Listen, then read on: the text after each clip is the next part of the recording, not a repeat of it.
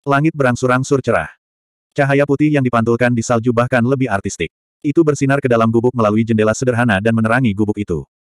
Ada genangan darah besar di tanah. Lapisan darah terluar telah mengering, tetapi sebagian besar masih cair. Cairan itu bahkan perlahan menyebar keluar, membasahi bagian yang mengering.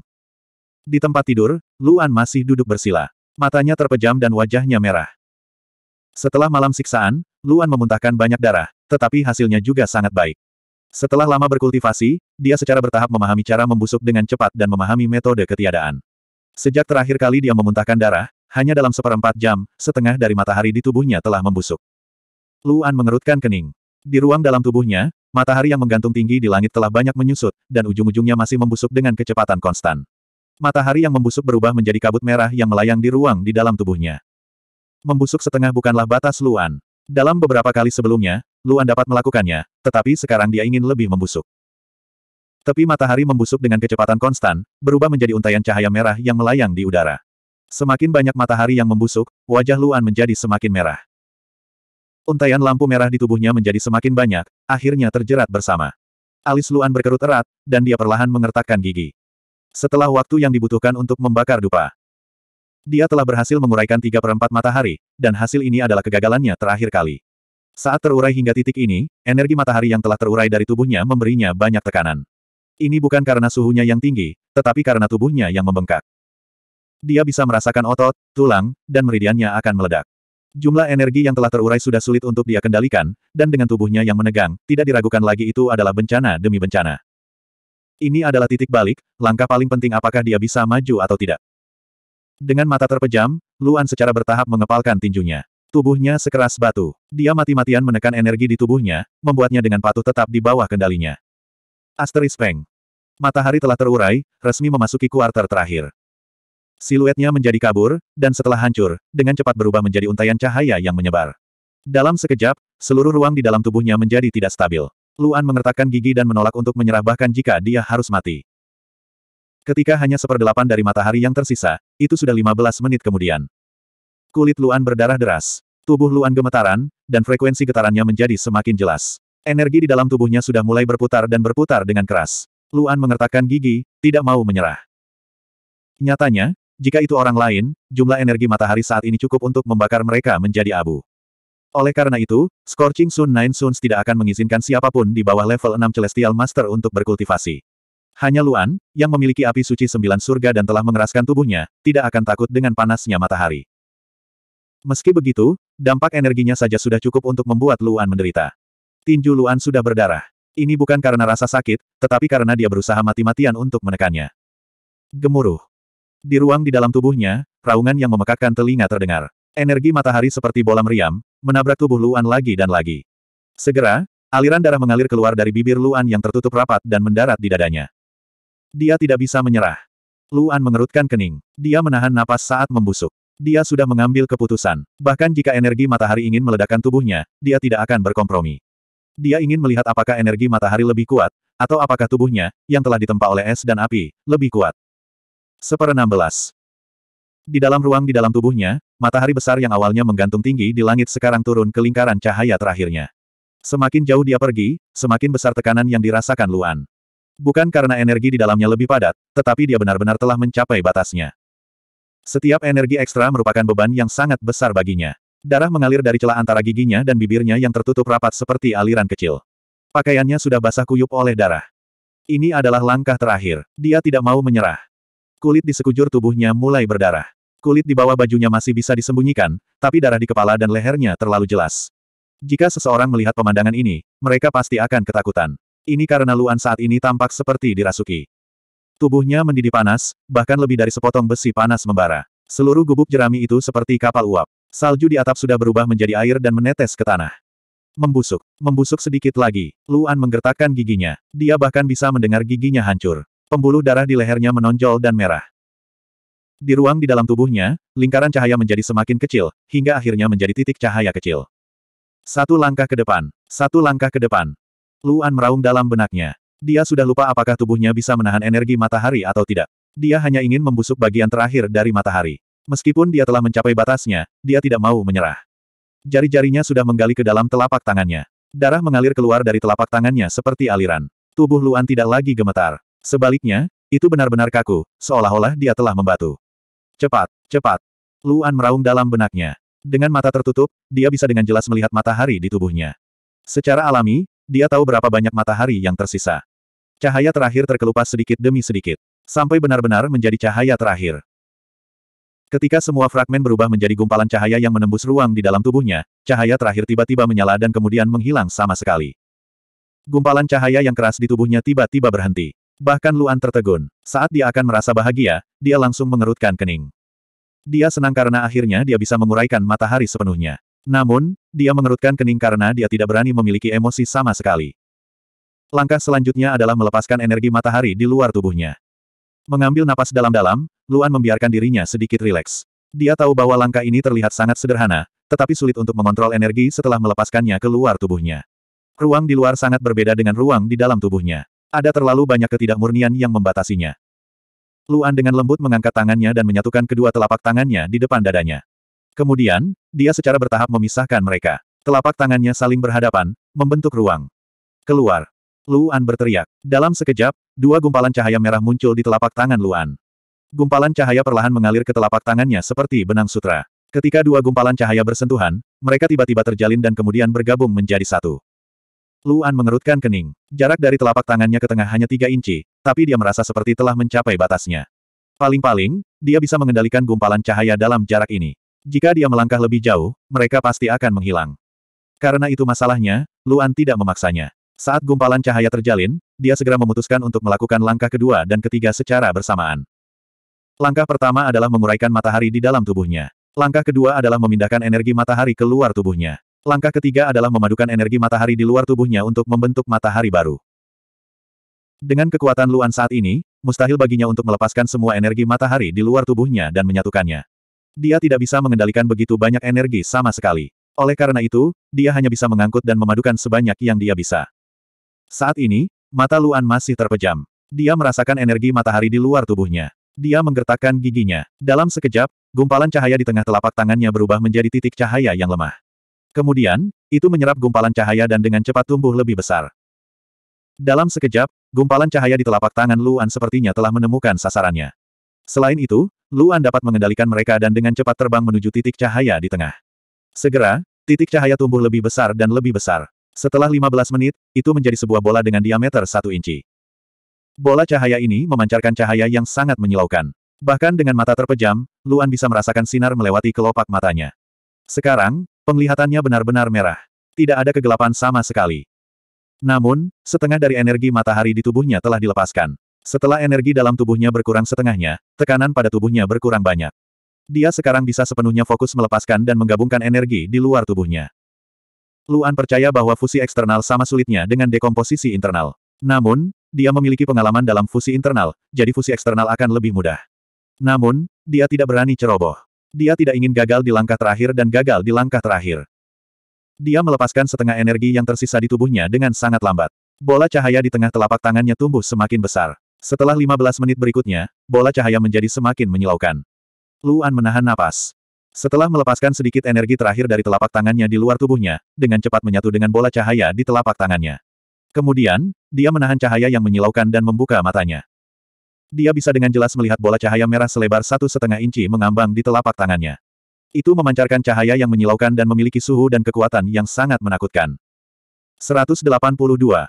Luan menyipitkan matanya ke arah bola cahaya. Dia sangat gembira. Dia tahu bahwa dia telah berhasil.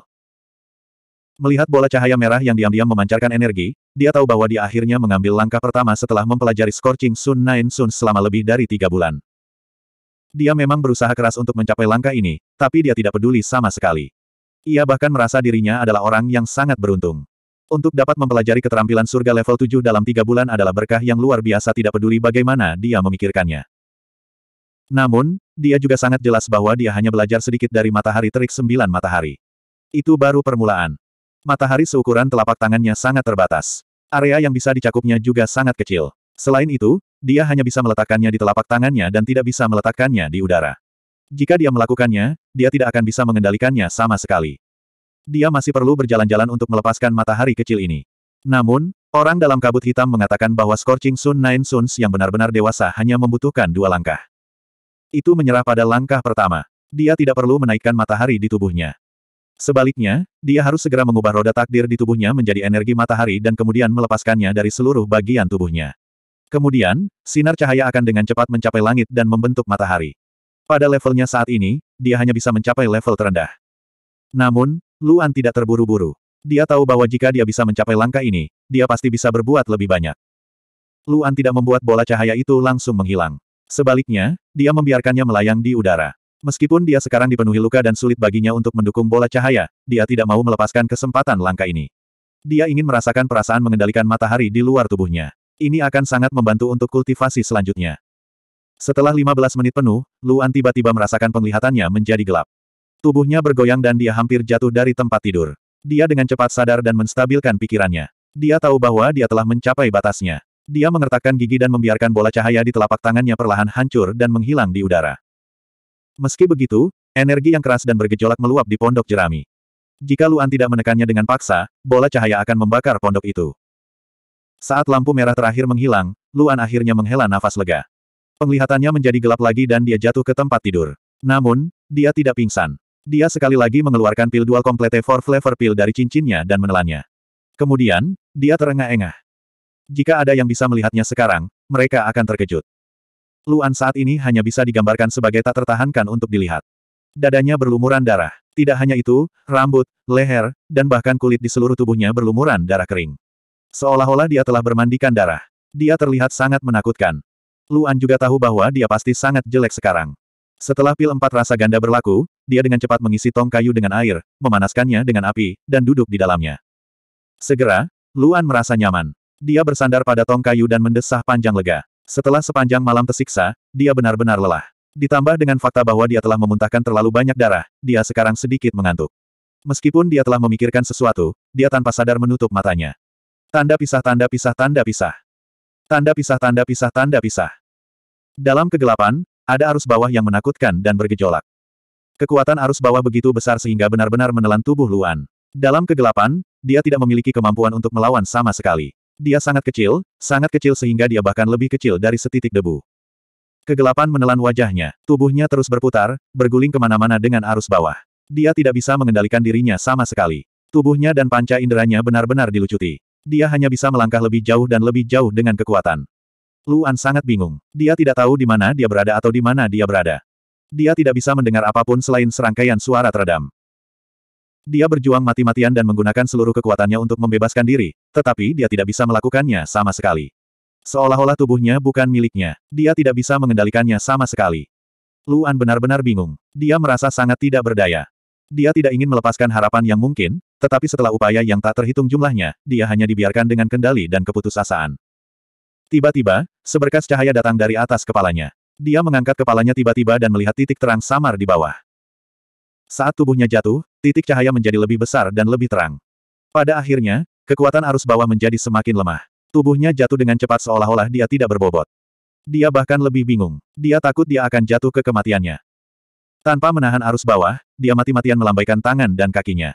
Tapi tidak peduli bagaimana dia melambai, tidak ada yang bisa dia ambil. Saat titik cahaya menjadi semakin besar, kegelapan memudar sedikit demi sedikit. Semuanya secara bertahap jatuh ke ruang putih. Ah!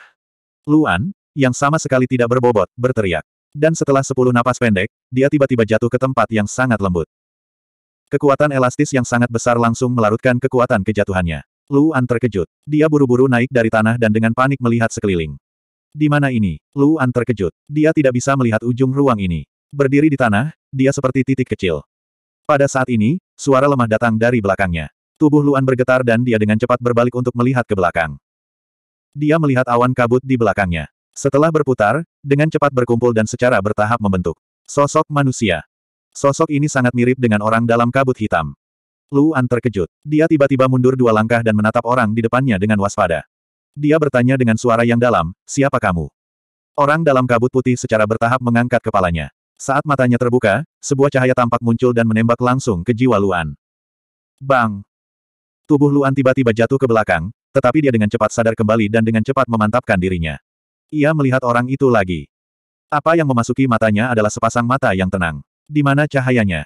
Siapa kamu? Luan memandang orang dalam kabut putih dengan sangat waspada. Dia tidak tahu kenapa, tapi dia merasakan perasaan yang sangat berbahaya dari orang ini. Aku, orang dalam kabut putih berbicara. Suaranya seakan datang dari segala arah. Itu sangat ilusi. Dia berkata, siapa aku? Kamu akan tahu. Suara itu seperti guntur yang menggelinding yang langsung menghantam jiwa. Luan tertekan oleh suara itu dan tubuhnya jatuh. Dia hampir berlutut. Itu benar. Tekanan semacam ini yang datang dari jiwa membuatnya ingin berlutut dan menyembah orang ini. Bang! Luan tiba-tiba menamparkan tanah dengan telapak tangannya, dengan putus asa menopang tubuhnya yang hendak berlutut. Keringatnya menetes seperti kacang dan wajahnya pucat. Seolah-olah sebuah gunung menekan tubuhnya. Luan berjuang untuk mengangkat kepalanya dan menatap orang dalam kabut putih itu. Dia mengertakkan gigi dan bertanya, apa yang kamu inginkan? Tidak apa-apa, aku hanya datang untuk menyambutmu. Orang dalam kabut putih berkata dengan acuh tak acuh. Suaranya seperti hantaman keras yang menghantam tubuh Luan lagi dan lagi. Lengan Luan bergetar hebat dan dia akan berlutut di tanah kapan saja. Kamu memiliki tulang punggung. Orang dalam kabut putih memandang Luan dan sedikit tersenyum. Sepertinya dia sangat puas. Tapi empat kata terakhir ini seperti sedotan terakhir. Lengan Luan tidak bisa lagi menopangnya dan dia akan berlutut di tanah. Berdengung. Suara tiba-tiba terdengar dan dalam sekejap mengimbangi tekanan orang dalam kabut putih. Tubuh Luan bergetar dan dia mendongak. Dia menemukan bahwa ruang putih ditelan oleh bayangan hitam lain. Orang dalam kabut putih mengangkat kepalanya dan melihat bayangan hitam yang mendekat dengan cepat. Dia tersenyum dan berkata dengan acuh tak acuh, kamu datang begitu cepat. Lama tak jumpa, aku sangat merindukan perasaan ini.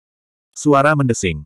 Sebelum dia selesai berbicara, seluruh ruang menjadi hitam. Pada saat yang sama, kabut hitam muncul di samping Luan dan secara bertahap membentuk sosok manusia. Siapa lagi kalau bukan orang dalam kabut hitam? Menguasai. Luan tercengang dan dengan cepat berkata dengan gembira. Tapi saat dia hendak mengatakan sesuatu, dia diinterupsi oleh orang dalam kabut hitam. Jangan tanya apa-apa. Suara orang dalam kabut hitam sangat berat dan tidak ada ruang untuk negosiasi. Dia berkata dengan suara rendah, anggap saja tidak terjadi apa-apa dan jangan menyebutkannya di masa depan. Begitu dia selesai berbicara, kegelapan tiba-tiba menghilang. Luan di dalam bak mandi tiba-tiba membuka matanya. Dia sangat bingung sehingga dia memercikkan air dalam jumlah besar. Luan melihat sekeliling dengan heran. Dia lega menemukan bahwa ini adalah gubuk jeraminya. Kemudian dia mengerutkan kening dan dengan serius memikirkan apa yang baru saja terjadi. Siapakah orang dalam kabut putih itu? Terlebih lagi, ini adalah pertama kalinya dia melihat orang dalam kabut hitam begitu serius. Di masa lalu, tidak peduli siapa itu, orang dalam kabut hitam hanya akan tersenyum dan mengabaikannya. Tapi kali ini, orang dalam kabut putih itu berbeda dan membuatnya sangat peduli. Mungkinkah ada permusuhan di antara mereka berdua? Setelah berpikir sejenak, Luan menarik napas dalam-dalam dan menggelengkan kepalanya dengan keras. Karena orang dalam kabut hitam menyuruhnya untuk tidak bertanya, dia tidak akan memikirkannya lagi. Dia percaya bahwa orang dalam kabut hitam tidak akan menyakitinya. Keluar dari bak mandi, Luan mengenakan pakaian yang dikirimkan kepadanya dari Blue Water Peak beberapa hari yang lalu. Pakaian ini persis sama dengan murid Blue Water Peak lainnya. Itu adalah jubah biru dan pakaian biru muda. Pakaian ini agak tipis di tubuhnya, tapi untungnya Luan tidak takut dingin. Saat Luan selesai mengenakan pakaiannya, tiba-tiba terdengar terburu-buru berlari keluar pintu. Luan terkejut dan berbalik untuk melihat ke pintu. Benar saja, setelah dua tarikan napas, terdengar ketukan keras dan panik di pintu. Luan segera pergi ke pintu dan membukanya. Dia menemukan bahwa itu adalah murid dari tim berburu. Dia memiliki hubungan yang baik dengan murid ini dan dia sering pergi ke lapangan untuk membantu.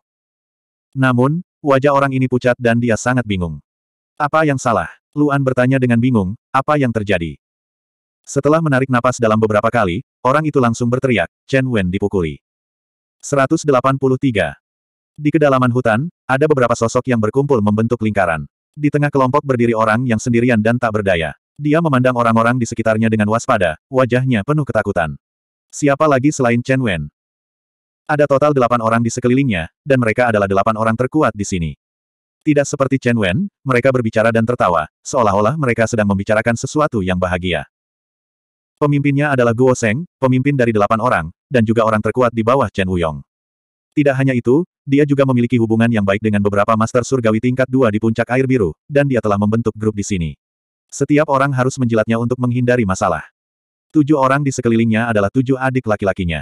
Delapan dari mereka memiliki semua yang mereka butuhkan.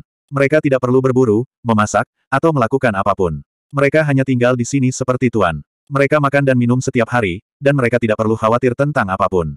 Apakah mereka dalam suasana hati yang baik atau tidak, mereka akan menindas murid-murid lainnya. Chen Wen, Aku dengar kamu berani berbicara kembali dengan saudara laki-laki ketigaku hari ini, apakah itu benar? Guo Seng maju selangkah dan menatap Chen Wen dengan main-main. Wajah Chen Wen tenggelam dan menjadi pucat. Dia menggertakkan giginya dan berkata, aku tidak membalasnya, tetapi dia ingin aku menyeka sepatunya. Bersihkan sepatunya, lalu kenapa? Guo Seng mencibir dan mengangkat alisnya. Jadi, kamu masih berbicara kembali dengannya. Aku tidak. Chen Wen menggertakkan giginya. Dia menghinaku. Menghina. Guo Seng tertawa dan berkata, kamu berbicara tentang menghinaku. Apa? Apakah Anda lupa bahwa Anda pernah melakukan ini sebelumnya? Itu masa lalu, tapi aku tidak ingin melakukannya lagi. Meskipun Chen Wen terlihat bingung, matanya sangat tegas. Dia berkata dengan marah, kita semua bersaudara, dan kamu hanya kakak laki-lakiku. Apa hakmu untuk memerintahku? His, kau bahkan bisa melanggar perintah kakak seniormu, sepertinya kau sudah benar-benar melupakan akarmu. Guo Seng menghela nafas dan menggelengkan kepalanya. Kamu bahkan tidak tahu bagaimana menghormati tuanmu. Aku kakak laki-lakimu, jadi kamu harus mendengarkanku. Aku akan mendengarkanmu. Aku telah mengirimkan cukup banyak makanan selama sebulan terakhir. Aku juga telah melakukan banyak pekerjaan lain. Apa hakmu untuk menindasku? Wajah Chen Wen dipenuhi dengan kebencian. Suaranya semakin keras dan keras saat dia berteriak. Namun, teriakan marah ini ditanggapi dengan ekspresi kesal di wajah Guo Seng. Dia bahkan mengangkat telinganya dan melambaikan tangannya dengan kesal. Sepertinya kamu sudah dewasa. Kamu bahkan berani tidak mematuhi perintahku. Guo Seng menahan senyumnya dan menatap Chen Wen dengan wajah muram. Suaranya seperti pisau saat dia berkata dengan suara rendah, kebetulan kita saudara sudah lama tidak berolahraga. Mari kita semua berlatih. Setelah dia selesai berbicara, Guo Seng melambaikan tangannya, dan tujuh orang lainnya mencibir. Mereka bertujuh mengepalkan tangan dan perlahan berjalan menuju Chen Wen. Chen Wen benar-benar bingung. Wajahnya pucat saat dia melihat tujuh orang berjalan ke arahnya. Dia mundur dan berkata dengan suara gemetar, kamu. Apa yang sedang kamu lakukan? Tujuh dari mereka memiliki senyum mengejek di wajah mereka. Mereka memandang Chen Wen seolah-olah mereka sedang melihat mayat. Chen Wen melihat bahwa situasinya tidak baik dan dengan cepat berbalik untuk lari. Namun, orang-orang yang mengelilinginya tidak memberinya kesempatan. Tiga pilar air langsung menyerang dan menutup semua rute pelarian Chen Wen.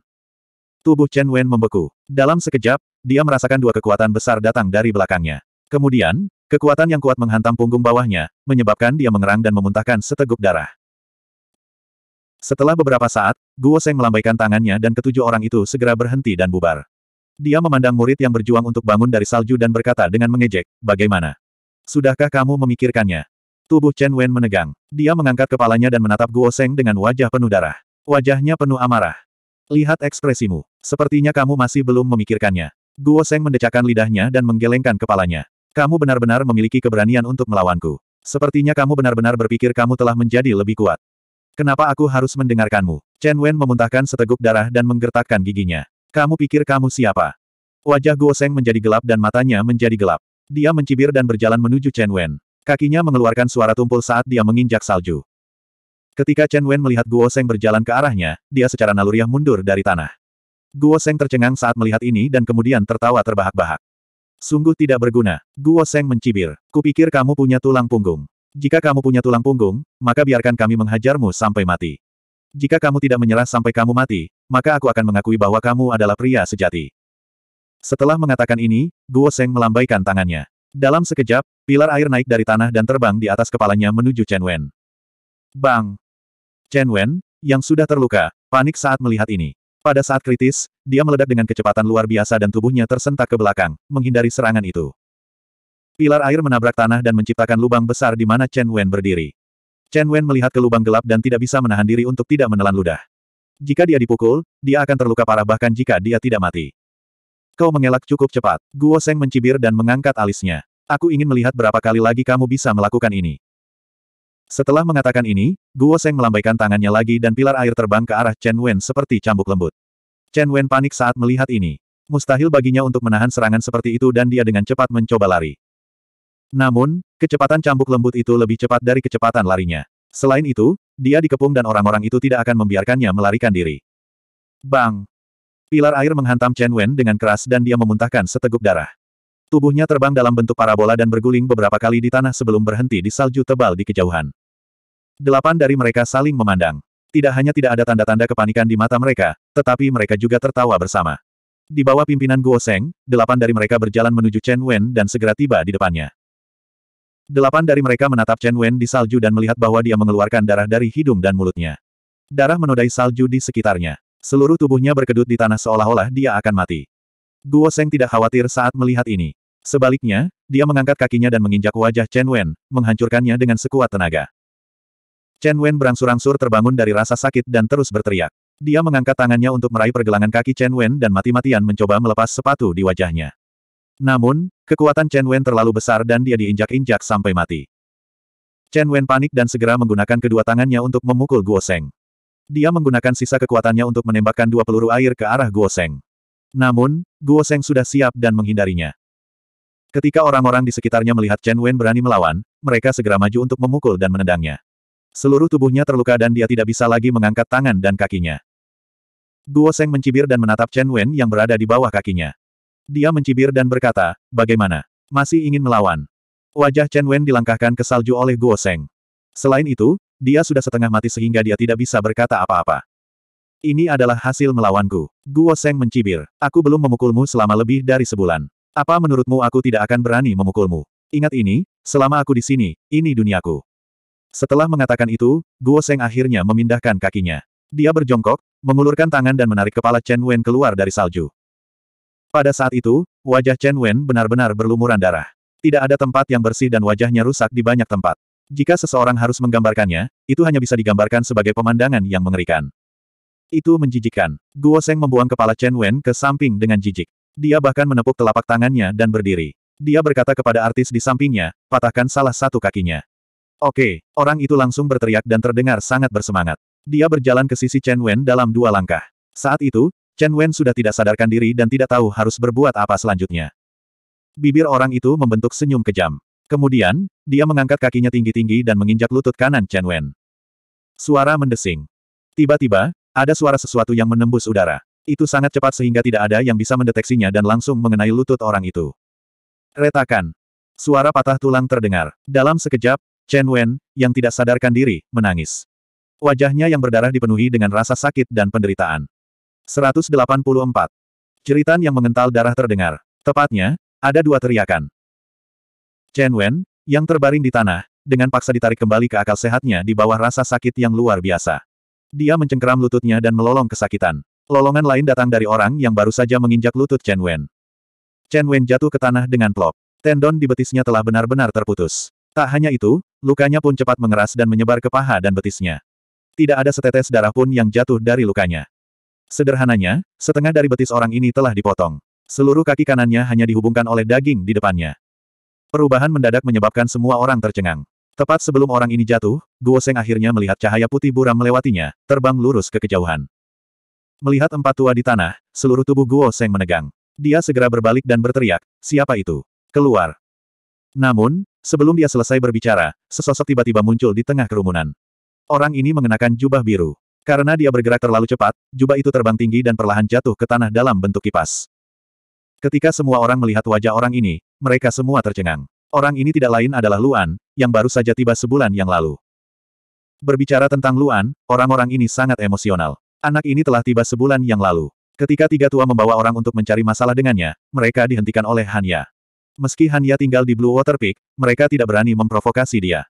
Apalagi bocah ini sebenarnya berhasil bercocok tanam di musim dingin. Karena mereka memiliki makanan dan minuman yang enak, tentu saja mereka tidak akan menemukan masalah dengan anak ini. Anak ini juga berbeda dari yang lain. Dia berbicara dengan bahasa yang sederhana dan jarang berinteraksi dengan orang lain. Dapat dikatakan bahwa satu-satunya orang yang dapat berbicara dengannya adalah anggota tim pemburu. Namun, bahkan anggota tim pemburu merasa sulit untuk berkomunikasi dengannya. Hanya Chen Wen yang sesekali bisa berbicara dengannya. Dia seperti orang yang tidak terlihat. Meskipun semua orang tahu keberadaannya, tidak ada yang memahaminya. Sampai sekarang, tidak ada yang tahu dari mana asalnya, apa tingkat kultivasinya, atau seni surga apa yang dia miliki. Semuanya adalah misteri. Namun, dia hanyalah murid baru, jadi tidak ada yang terlalu memperhatikannya. Luan mengerutkan kening saat dia melihat ke arah Chen Wen, yang sedang berbaring di tanah sambil berteriak tanpa henti. Dia dengan cepat mengeluarkan pil empat rasa ganda dari cincinnya dan memaksanya masuk ke mulut Chen Wen. Kemudian, dia melihat lutut Chen Wen. Lutut Chen Wen benar-benar cacat. Tidak ada kekuatan pada persendian antara betis dan pahanya, dan itu benar-benar terkilir. Selain itu, Luan dapat melihat banyak tulang patah menonjol dari jari-jari Chen Wen. Itu sangat kejam. Pada saat ini, orang-orang di sekitar Luan sudah bergegas ke sisi All Four. Mereka menyadari bahwa setengah dari lutut All Four patah. Bukan hanya itu, tetapi bagian bawah pahanya dan bagian atas betisnya benar-benar beku. Mereka tidak perlu bertanya untuk mengetahui siapa di balik ini. Wajah Guo Seng menjadi gelap. Menamparkan anak buahnya sama dengan menamparkan wajahnya. Dia tiba-tiba maju dua langkah dan berdiri di belakang Luan. Dia berteriak, Luan, apa artinya ini? Luan mengerutkan kening. Setelah makan pil rasa 24, ekspresi Chen Wen jelas lebih baik. Pil Dual for Flavor adalah obat mujarab kelas 1 yang bisa memperpanjang hidup seseorang. Tidak hanya dapat memperpanjang hidup seseorang, tetapi juga memiliki efek pereda nyeri yang sangat baik. Melihat bahwa Chen Wen berangsur-angsur kembali sadar, Luan perlahan bangkit, berbalik, dan menatap Guo Seng. Aku akan membawanya pergi, Luan mengerutkan kening dan berkata dengan dingin. Guo Seng tertegun. Kemudian, wajahnya menjadi sangat suram. Dia maju selangkah dan hanya berjarak tiga kaki dari Luan. Dia berteriak, kamu pikir kamu ini siapa? Kamu pikir kamu bisa pergi begitu saja setelah menyakiti orang-orangku? Luan semakin mengernyit. Guo Seng tidak menyadari bahwa pupil mata Luan sedikit memerah. Aku akan memberimu satu kesempatan terakhir. Suara Luan menjadi sangat dingin. Bersamaan dengan suaranya, suara di sekitarnya sepertinya telah turun beberapa derajat. Dia berkata, aku akan membawanya pergi. Omong kosong asteriste. Kalahkan dia. Guo Seng segera meraung. Pada saat yang sama, dia melambaikan tangan kanannya. Lingkaran air muncul di tangan kanannya dan dia mengayunkannya ke wajah Luan. Namun, pada saat ini, Luan menutup matanya. Murid merah muncul, tetapi tidak ada yang bisa melihatnya. Bang! Luan tidak segan-segan melontarkan pukulan. Itu sangat cepat sehingga tidak ada yang bisa melihatnya dengan jelas. Sebelum tinju Guo Seng bisa mencapainya, itu sudah mengenai hati Guo Seng.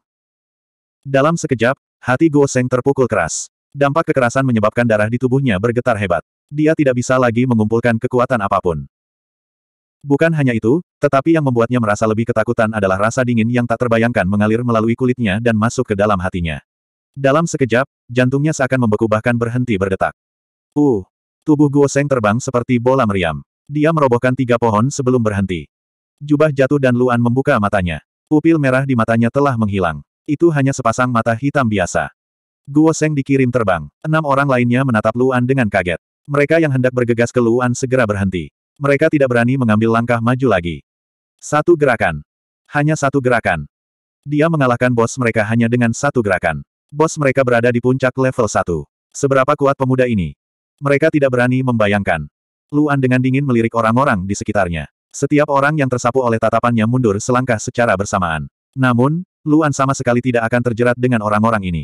Dia membantu Chen Wen bangkit dari tanah dan berbalik untuk pergi secepat kilat. Di hutan yang luas, hanya tersisa enam orang yang saling memandang. Mereka memandang kakak dan kakak keempat yang terbaring di tanah. Big Brother tampaknya telah kehilangan kesadaran. Mereka tidak tahu apa yang harus dilakukan. Tanda pisah tanda pisah tanda pisah. Tanda pisah tanda pisah tanda pisah. Luan mendukung Chen Wen dengan satu tangan dan bergegas melewati salju. Dalam perjalanan, Luan bertemu dengan orang yang mengiriminya pesan. Nama orang ini adalah Suhu. Namun, kecepatannya terlalu cepat. Suhu tertinggal jauh. Sebelumnya, Suhu tidak menyangka Luan begitu cepat. Dia bahkan tidak berpikir bahwa Luan sekuat itu. Bahkan ketika dia menghubungi Luan, dia hanya ingin mendiskusikan sebuah rencana. Dia tidak menyangka Luan akan segera keluar. Dia ingin menghentikan Luan dari kecerobohan. Namun, saat Luan menunjukkan kecepatannya, dia benar-benar terkejut. Huf, huf, suhu terengah-engah. Dia memandang Chen Wen dan bertanya dengan cemas, bagaimana kabarmu? Dengan efek pil rasa empat ganda, Chen Wen benar-benar terjaga. Rasa sakit tulangnya yang patah juga berkurang lebih dari setengahnya. Namun, trauma di hatinya sangat besar. Dia bahkan menangis gila.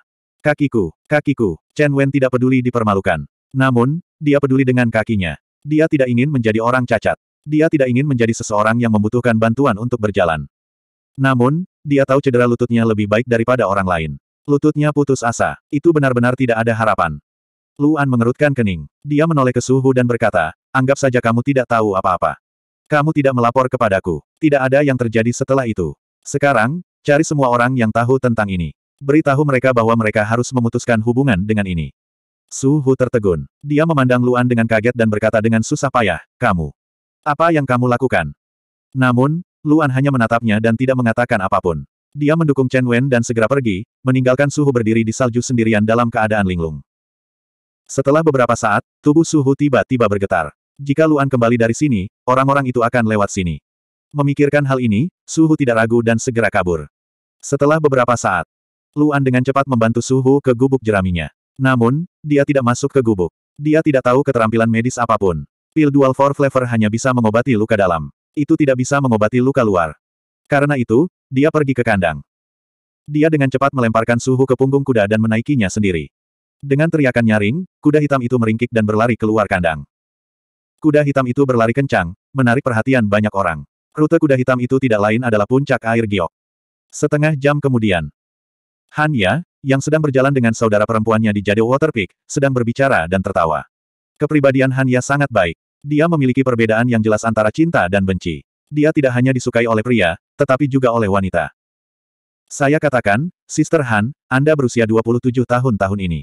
Sudah waktunya bagi Anda untuk menemukan seorang pria. Mari kita tidak berbicara tentang hal-hal lain. Ada banyak pria yang menunggumu di Jade Water Peak.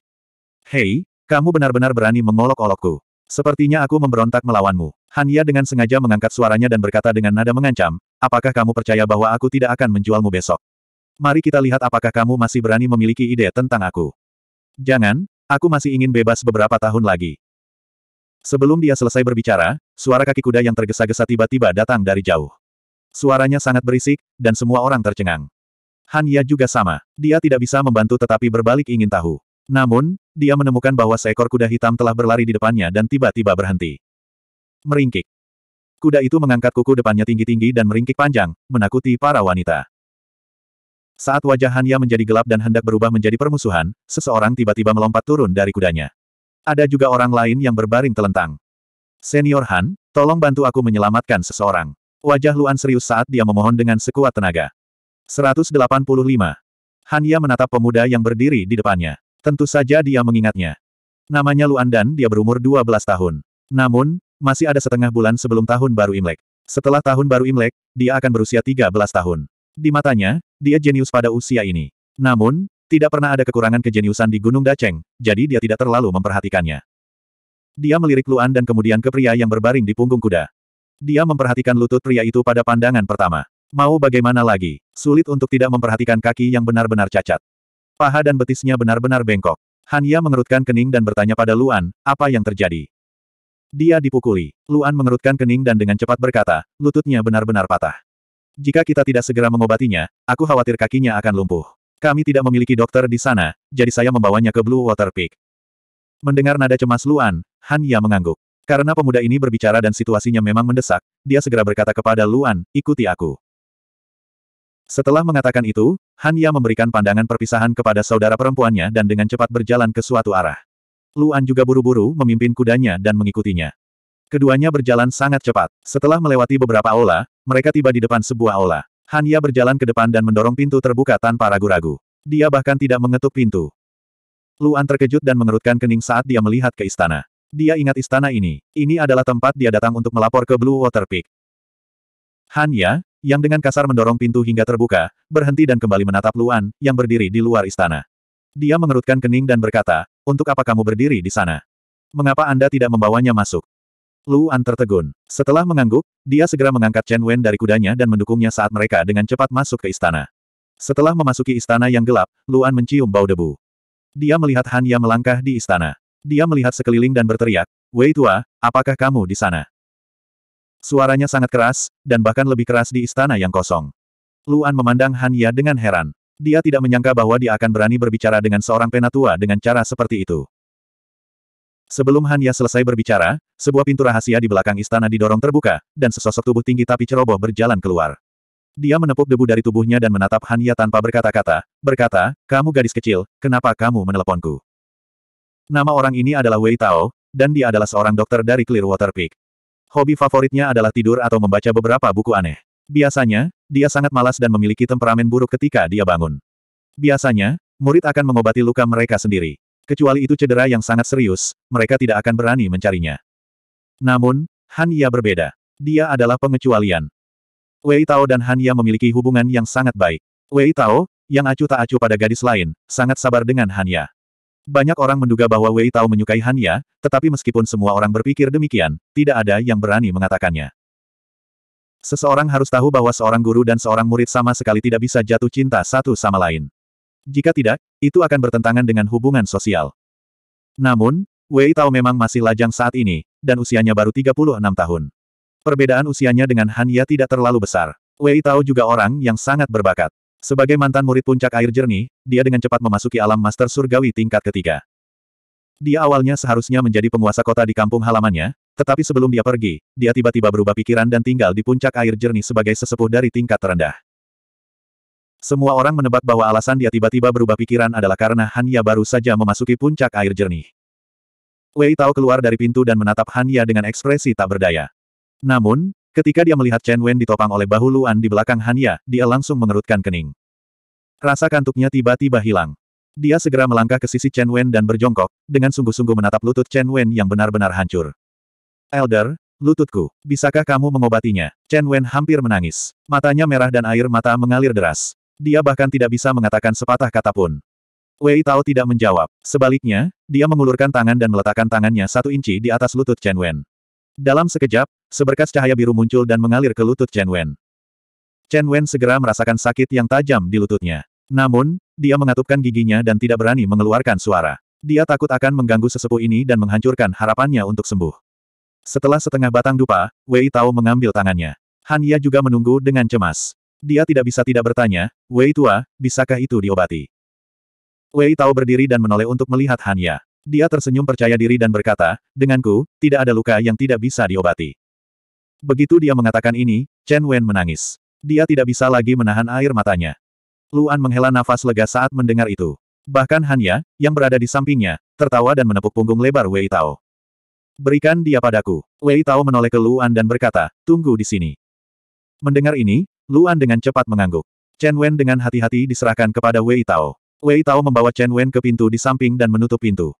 Hanya Hanya dan Luan yang tersisa di istana besar itu. Luan tidak bisa menahan nafas lega lagi. Dia menundukkan kepalanya dan mengerutkan kening. Meskipun merupakan berkah terbesar bahwa Chen Wen dapat disembuhkan, masalah ini belum selesai. Kejadian hari ini juga menyadarkannya betapa kejamnya kelompok Guo Seng. Jika dia tidak menyingkirkan mereka, Chen Wen akan selalu berada dalam bahaya. Dia telah berjanji pada ayah Chen Wen bahwa dia akan membantu Chen Wen, jadi dia harus melakukannya. Namun, jika dia ingin berurusan dengan Guo Seng, dia harus berurusan dengan delapan orang hari ini. Mereka bersekongkol. Lebih penting lagi, dia tidak bisa membunuh mereka. Membunuh orang di Gunung Langit Daceng sama saja dengan bunuh diri. Selain itu, dia tidak ingin menggunakan Realm of the Demon Gods lagi. Jika bukan karena situasi mendesak hari ini, dia tidak akan menggunakannya sama sekali. Dia ingin menggunakan kekuatan dasarnya untuk menyelesaikan masalah ini. Saat Luan sedang berpikir, sesosok tubuh tiba-tiba berdiri di depannya. Luan mendongak dan melihat Han Ya berdiri di depannya. Kakak senior, Luan tertegun. Dia tiba-tiba memikirkan sesuatu dan dengan cepat berkata, terima kasih atas bantuanmu, kakak senior. Kalau tidak, kakinya akan lumpuh. Oke, Han Ya mengangguk puas. Namun, dia sedikit mengernyit dan berkata dengan sedikit ketidakpuasan, Nak, apakah aku memberitahumu untuk mencariku jika kamu dalam masalah? Sudah sebulan sejak kamu datang. Jangan bilang kamu belum menderita di tangan Penatua Chen. Luan tercengang ketika mendengar itu. Kemudian, dia tersenyum canggung, menggaruk kepalanya, dan berkata, awalnya sedikit, tapi sekarang tidak apa-apa. Jika tidak apa-apa, mengapa dia terluka seperti ini? Han Ya mengerutkan kening dan berkata, katakan padaku, apa yang terjadi? Ekspresi Luan membeku. Setelah memikirkannya, dia dengan kasar menceritakan apa yang telah terjadi. Saya tidak tahu mengapa mereka memukulnya. Waktu sangat sempit, jadi saya tidak punya waktu untuk bertanya. Luan mengerutkan kening dan berkata, namun, tidak mungkin Chen Wen tidak ingin menimbulkan masalah bagi mereka. Saya tidak percaya bahwa dia mengambil inisiatif untuk menimbulkan masalah. Guo Shen, kan, saya pernah mendengar tentang dia. Dia tidak berguna. Han Ya mengerutkan kening dan sedikit mengangguk. Kemudian, dia memandang Luan dan berkata, meskipun saya bukan murid Penatua Chen, saya masih bisa mengatakan sesuatu. Jika Anda butuh bantuan, cari saja saya. Ekspresi Luan bermartabat saat mendengar itu. Dia mengangguk dan berkata, terima kasih, kakak senior. Ada keheningan singkat. Luan berdiri di sana menunggu pengobatan berakhir. Han Ya juga tidak pergi. Matanya yang indah sedang merenung. Setelah beberapa saat, Han Ya menatap Luan dan mengerutkan kening. Dia memikirkannya dan berkata, apakah kamu tahu tentang tes akhir tahun? Luan tertegun. Dia telah memikirkan tentang tindakan balasan. Dia dengan cepat menatap Hanya dan bertanya tanpa sadar, apa? Tes akhir tahun, kata Hanya lagi. Luan tertegun lagi. Setelah memikirkannya dengan serius di benaknya, dia menggelengkan kepalanya dan berkata, aku tidak tahu. Apa itu? Seperti namanya, ini adalah ujian untuk semua murid sebelum tahun baru. Kata Hanya, seolah-olah dia berharap Luan tidak akan mengetahuinya. Dia berkata, pertama, lima puncak terluar akan memiliki ujiannya sendiri. Kemudian, itu akan menjadi ujian terakhir untuk enam puncak utama. Tes lima puncak terluar akan dilakukan dalam setengah bulan. Tes terakhir akan dilakukan dalam sebulan, yaitu tiga hari sebelum malam tahun baru. Luan tiba-tiba mengerti. Dia mengangguk dan berkata, aku mengerti. Apakah kamu akan berpartisipasi? Han Ya bertanya langsung. Luan tertegun. Dia menggelengkan kepalanya dan berkata, saya baru di sini selama sebulan. Kekuatan saya hanya pada tahap awal kelas 1. Bahkan jika saya berpartisipasi, saya tidak akan mendapatkan peringkat yang bagus. Lupakan saja. Hanya sedikit kecewa, tapi dia masih mengangguk dan berkata, masih ada setengah bulan. Kamu bisa memikirkannya. Aku hanya bisa memberitahumu bahwa jika kamu mendapatkan peringkat yang bagus, kamu akan mendapat banyak hadiah. Hadiah. Luan tertegun. Dia menundukkan kepalanya dan memikirkannya. Kemudian, dia menggelengkan kepalanya dan berkata, lupakan saja. Mari kita tunggu sampai tahun depan. Hanya mengangguk dan tidak mengatakan apa-apa lagi. Keduanya berdiri di dalam istana tanpa bicara hingga satu jam kemudian, pintu samping tiba-tiba terbuka. Hanya dan Luan sama-sama tercengang. Luan dengan cepat berlari dan melihat Wei Tao mendukung Chen Wen saat mereka berjalan selangkah demi selangkah. Luan dengan cepat mendatangi mereka berdua. Dia melirik kaki Chen Wen dan menemukan bahwa kakinya telah kembali ke bentuk normalnya. Namun, lututnya diikat dengan logam keras dan tidak bisa ditekuk atau dipanjangkan sama sekali. Luan dengan cepat menatap Wei Tao dan bertanya, Penatua, bagaimana kabarnya? Jangan khawatir. Wei Tao tersenyum percaya diri dan berkata, dia akan baik-baik saja denganku. 186. Ketika Luan mendengar ini, dia menghela nafas lega. Mata Chen Wen merah. Setelah diterima oleh Luan, dia segera membungkuk kepada Wei Tao dan berkata, Terima kasih, tetua. Terima kasih, Penatua. Baiklah, ada banyak orang yang berterima kasih padaku. Kamu hanya satu lagi. Wei Tao melambaikan tangannya dan berkata dengan keras, jangan membuat masalah di masa depan. Jangan ganggu aku. Wajah Chen Wen agak merah, tapi dia tetap berterima kasih padanya. Melihat Wei Tao, Luan tiba-tiba teringat Sun Shaosheng dari Starfire Academy. Ini karena Sun Shaosheng sering menyebutkan apa yang dikatakan Wei Tao. Sepertinya keinginan terbesar mereka sebagai dokter adalah tidak ada yang mengganggu mereka. Aku akan mengatakan kata-kata buruk dulu. Cederamu sangat serius. Jangan mengira kamu akan baik-baik saja. Wei Tao menunjuk ke lutut Chen Wen dan berkata dengan lantang, butuh seratus hari untuk pulih dari cedera serius. Meskipun kami guru surgawi berbeda dari orang biasa dan memiliki tubuh yang jauh lebih kuat, dengan cedera Anda, Anda masih membutuhkan waktu sebulan. Untuk memulihkan. Dengan kata lain, sebelum tahun baru, Anda harus berbaring di tempat tidur dan tidak pergi ke mana-mana. Jika sesuatu terjadi karenamu, jangan datang mencariku. Chen Wen tercengang saat mendengar ini. Dia dengan cepat mengangguk dan berkata dengan ketakutan, ya, ya, ya. Saya pasti akan berbaring. Oke, Wei Tao mengangguk dan melambaikan tangannya, baiklah, kamu bisa kembali. Setelah keduanya berterima kasih kepada Wei Tao lagi, Chen Wen juga mendatangi Han Ya dan membungkuk. Han Ya mengangguk sambil tersenyum dan berkata, kembalilah dan pulihkan dirimu. Jangan tinggalkan luka tersembunyi. Itu tidak baik untuk kultivasi masa depanmu. Anda bisa pergi dulu. Aku tidak akan mengirimmu pergi. Oke, Luan mengangguk dan berkata dengan rasa terima kasih. Terima kasih, kakak senior. Setelah itu, keduanya meninggalkan istana. Setelah pintu ditutup, hanya Hanya dan Wei Tao yang tersisa di istana besar itu. Hanya berbalik dan menatap Wei Tao. Wei Tao tercengang dan matanya dipenuhi kepahitan. Apakah kamu akan begitu ceroboh selamanya? Hanya mengerutkan kening, nadanya dipenuhi dengan ketidakpuasan yang mendalam. Tubuh Wei Tao bergetar dan kemudian dia tersenyum pahit, tidak bisa berkata apa-apa. Kerutan Hanya semakin dalam saat dia berkata dengan suara yang dalam, yang aku suka adalah pria yang bertanggung jawab dan ambisius, bukan pria ceroboh dan ceroboh yang bahkan tidak bisa mengurus dirinya sendiri. Jika Anda bahkan tidak bisa menjaga diri sendiri, bagaimana Anda akan menjaga saya di masa depan? Senyum pahit Wei Tao semakin dalam. Setelah beberapa saat, tubuhnya tiba-tiba bergetar, dan dia dengan cepat mengangkat kepalanya untuk menatap Han Ya dengan tidak percaya. Xiao Ya, maksudmu, Wei Tao melebarkan matanya dan bertanya dengan kaget. Tidak ada apa-apa. Han Ya mengerutkan bibirnya dan mengerutkan kening. Aku tidak ingin membawa pulang pria ceroboh untuk tahun baru. Tanda pisah tanda pisah tanda pisah. Tanda pisah tanda pisah tanda pisah. Puncak air biru, dalam perjalanan kembali. Tidak ada terburu-buru untuk kembali. Luan membiarkan Chen Wen duduk di atas kuda hitam sendirian sambil berjalan perlahan menuju jalan di depan.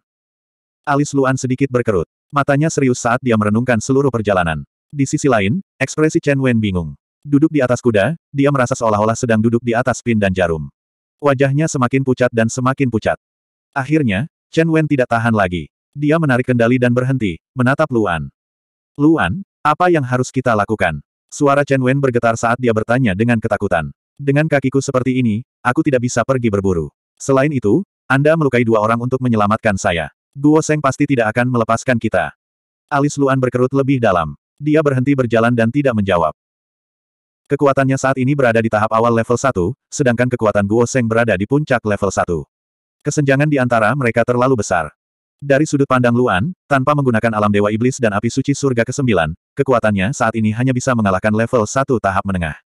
Paling-paling, dia bisa melawan level 1 tahap akhir. Namun, jarak antara dia dan puncak level 1 terlalu besar. Namun, dia benar-benar tidak ingin menggunakan Realm of the Demon Gods. Meskipun itu adalah kekuatannya, dia tidak ingin terlalu bergantung pada alam Dewa Iblis. Seperti yang diajarkan oleh orang dalam kabut hitam, Realm of the Demon Gods hanya bisa digunakan sebagai kartu truf. Dia tidak bisa mengandalkannya untuk semuanya. Kalau tidak, dia akan kehilangan motivasi untuk maju. Mengambil napas ringan, Luan menatap Chen Wen dan berkata dengan tenang, tidak apa-apa. Kamu tidak perlu khawatir. Fokus pada pemulihan. Aku akan mengurusnya. Apa yang ingin kamu lakukan? Chen Wen sangat gembira ketika mendengar ini. Dia dengan cepat bertanya, apakah kamu punya ide bagus? Luan tersenyum pahit dan berkata, tidak, biarkan aku memikirkannya. Wajah Chen Wen tiba-tiba menjadi tertekan. Keduanya tidak berbicara sepanjang jalan. Namun, semakin dekat mereka, wajah Chen Wen semakin pucat. Akhirnya, setelah setengah jam, mereka berdua tiba di area perumahan. Luan tidak pulang. Sebaliknya, dia mengirim Chen Wen ke kediamannya. Dia meninggalkan kuda hitam di halaman Chen Wen. Kaki Chen Wen terluka, jadi dia mungkin membutuhkannya. Setelah meninggalkan halaman, Luan tidak kembali ke gubuk jeraminya. Sebaliknya, dia langsung pergi ke pusat area perumahan. Luan tahu bahwa di situlah Guo Seng dan yang lainnya tinggal. Benar saja, saat Luan sudah setengah jalan, orang-orang di jalan mulai menunjuk Luan saat mereka melihatnya. Jelas bahwa berita tentang apa yang terjadi di hutan telah menyebar. Namun, Luan tidak peduli. Ketika dia sampai di tengah, dia menemukan halaman yang penuh dengan orang. Semua orang melihat ke dalam rumah dari waktu ke waktu, seolah ingin tahu apa yang terjadi di dalamnya. Di antara mereka, Luan melihat beberapa orang yang ditemuinya di hutan. Namun, dia tidak melihat sosok Guo Seng dan orang yang melukainya hari ini. Luan berpikir sejenak dan melangkah ke halaman. Begitu dia memasuki halaman, seseorang segera memperhatikannya. Itu dia, anak itu benar-benar datang. Seseorang segera berteriak. Anak ini masih berani datang. Ayo pergi, pukul dia sampai mati. Dia sangat berani. Apakah dia benar-benar mengira kita tidak berani menyentuhnya? Petik dua petik dua.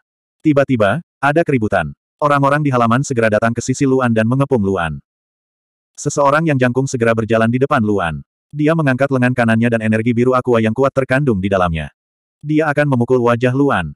Suara mendesing. Luan dengan cepat mundur dan menghindari pukulan itu. Di mana Guo Seng? Luan mengerutkan kening dan bertanya, jangan bilang dia masih berbaring.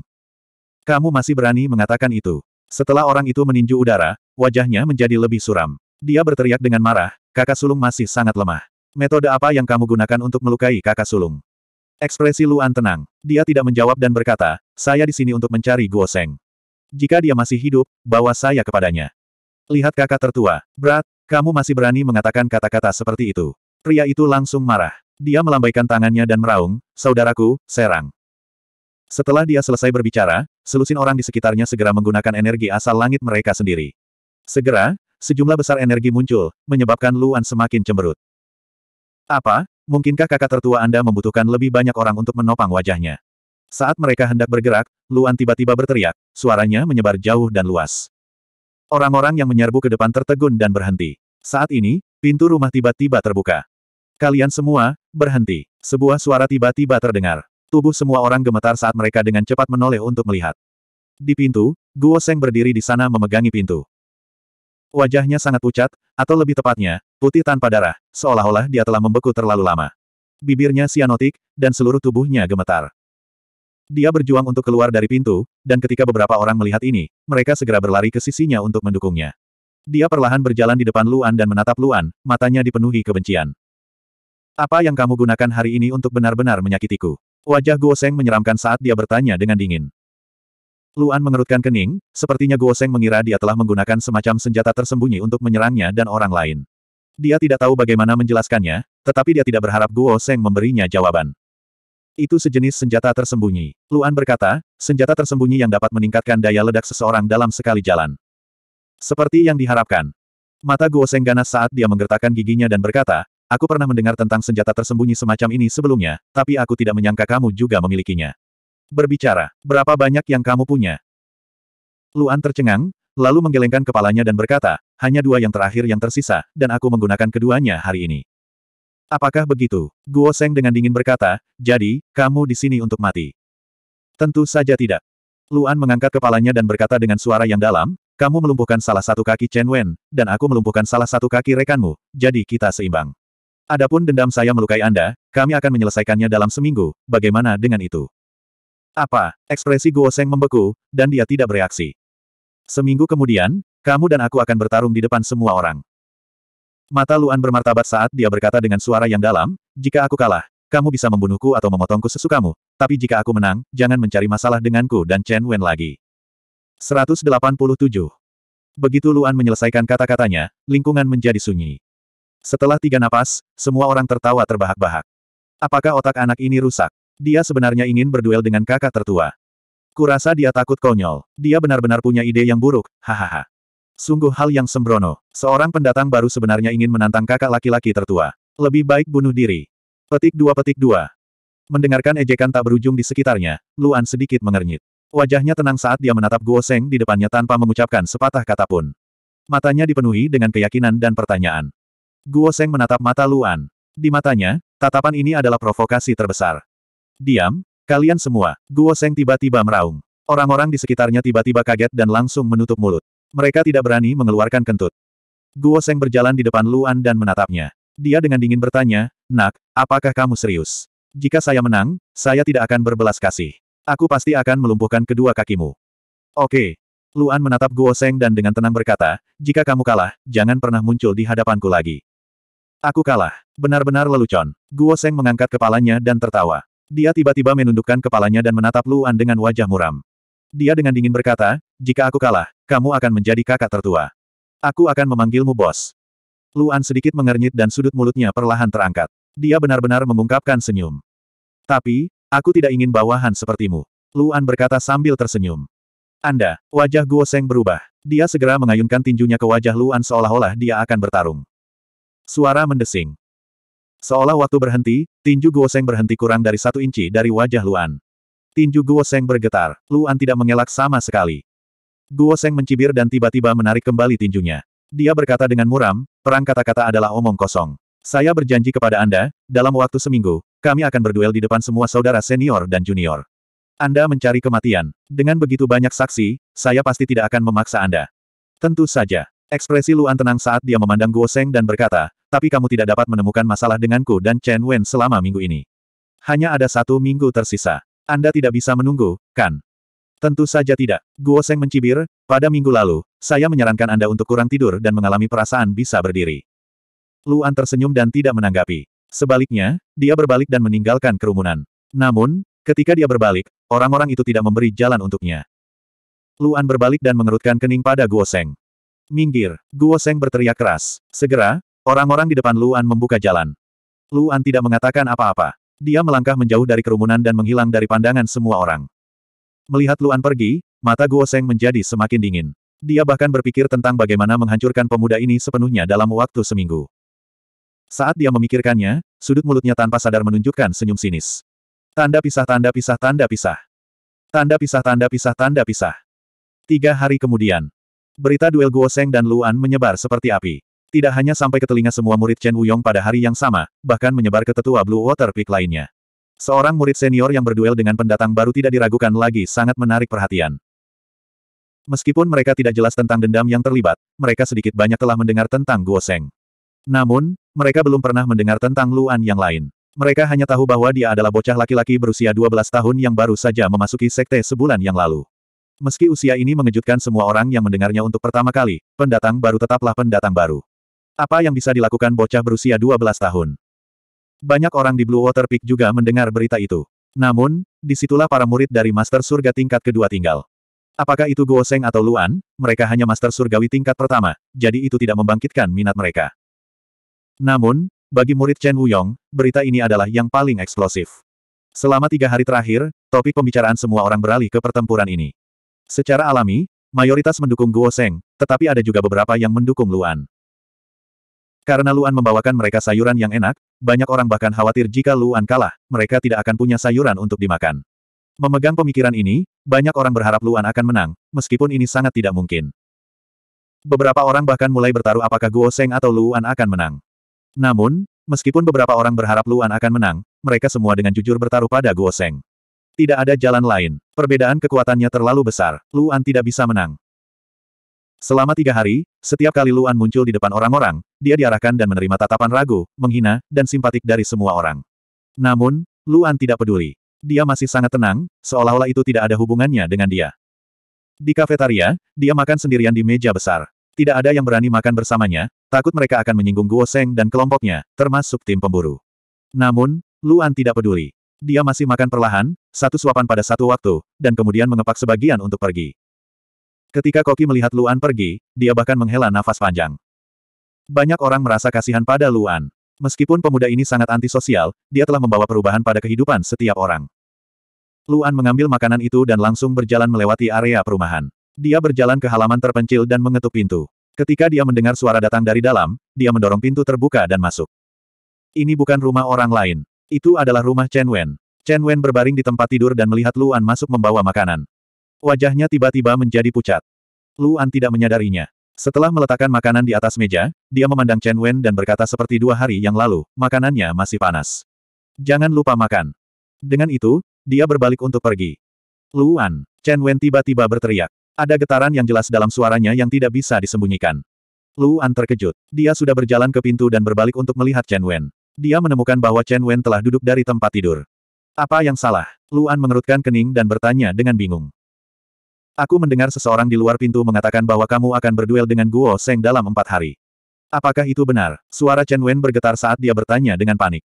Luan mengerutkan kening. Dia memikirkannya dan mengangguk, berkata, iya, itu benar. Bagaimana kamu bisa berduel dengannya? Chen Wen berdiri dengan cemas. Dia menggunakan kruk yang diberikan Luan untuk berjalan ke Luan dengan susah payah dan bertanya dengan cemas, dia ganas. Jika kamu kalah, kamu akan lebih buruk dariku. Siapa bilang aku pasti akan kalah? Luan tersenyum lembut. Matanya jernih tapi tak tergoyahkan. Dia berkata, kami belum bertarung. Tidak ada yang tahu hasilnya. Tapi, Chen Wen tidak tahu dari mana kepercayaan diri Luan berasal. Dia ingin mengatakan sesuatu tetapi disela oleh Luan. Kamu hanya perlu istirahat. Luan tersenyum dan berkata, lebih baik jika kamu bisa pulih dengan cepat dan berjalan sendiri. Dengan begitu, aku tidak perlu membawakanmu makanan setiap hari. Untuk selebihnya, Anda tidak perlu khawatir.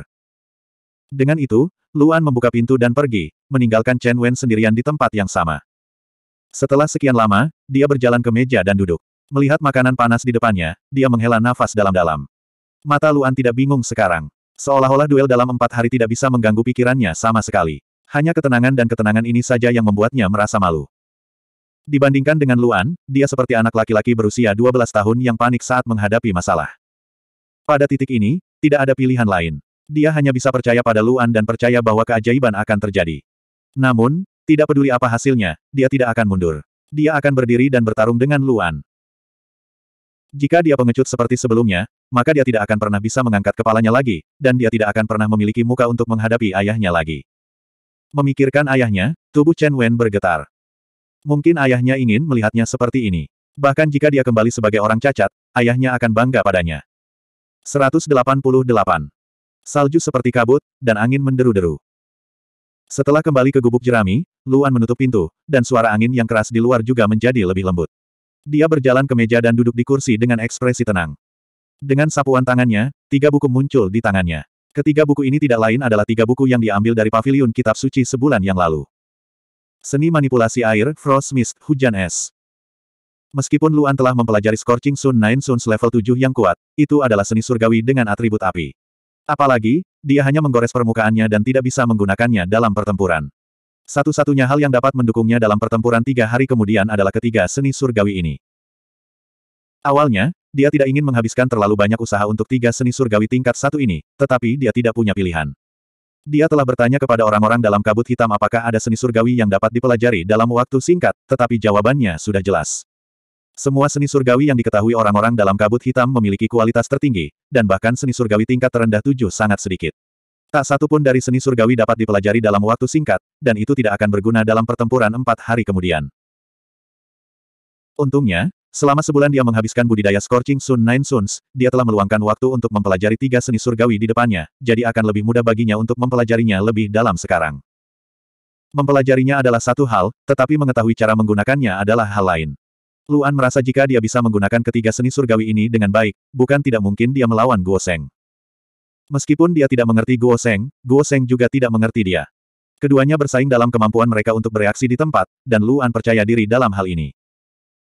Mengambil napas dalam-dalam, Luan memfokuskan matanya, dan dalam sekejap, cahaya tak berwarna muncul di sekujur tubuhnya. Kemudian, sesaat kemudian, kabut tiba-tiba menyebar, memenuhi seluruh ruangan. Ruangan itu dipenuhi kabut putih, bahkan benda-benda yang dekat dengannya tidak dapat dilihat dengan jelas, dan suhu tiba-tiba turun.